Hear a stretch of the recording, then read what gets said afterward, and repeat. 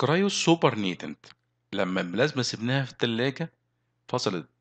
إلى cryoprecipitate اللي هو الراسب و cryosupernatant اللي هو الجزء العلوي.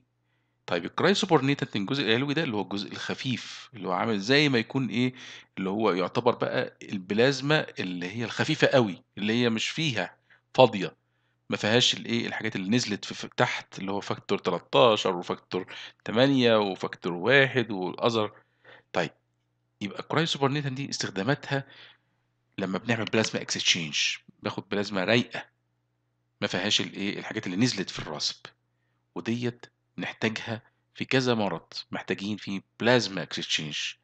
على سبيل المثال في مرضين مهمين جدا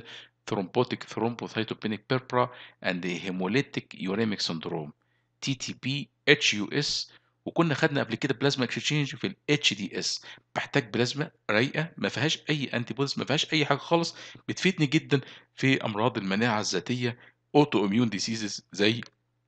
تي تي بي اتش يو اس